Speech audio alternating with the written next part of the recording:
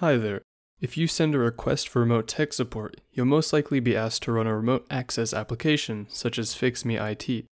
This type of software allows support specialists to resolve technical issues from anywhere in the world, and thus saves plenty of time for both parties by eliminating the need for unnecessary travel and on-site assistance. In this video, I'll show you how to connect your remote support technician using the FixMe.IT application. In order to connect, open your Edge browser and type in fixme.it in the address bar. Then click on the Start Support Session button to download the application. Click Run to open the app.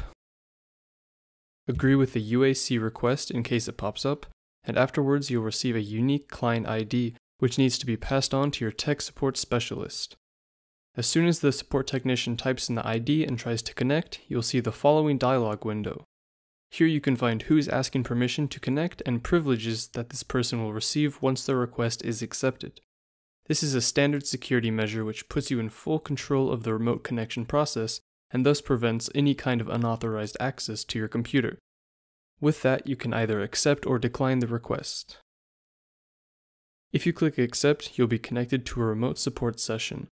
This is the interface of the client application where you can send and receive instant messages and transfer files to your remote support technician. You can also terminate the remote support session at any time by simply clicking on the dash sign at the top right corner of the application window. Since the remote connection process can be slightly different in various browsers, let's try Google Chrome as well.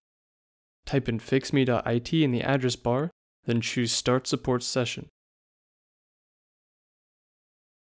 As soon as the installation file finishes downloading, click on it at the bottom left corner of your browser to run the application. Again, if a UAC pops up, click Yes. Communicate the unique client ID to your remote support technician and accept their connection request. The application's interface is identical to that shown before.